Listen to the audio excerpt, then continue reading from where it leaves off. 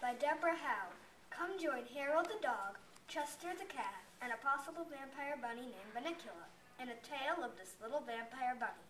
Chester has been noticing some strange things going on with the Mason's new pet.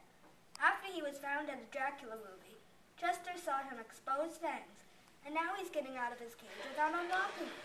The Masons have now switched their grocery stores because their vegetables have been turning white. So, Harold are on a mission to stop Bunnicula. When Chester goes too far, Bunnicula starves because he doesn't have food. It's up to Harold to save Bunnicula. But how?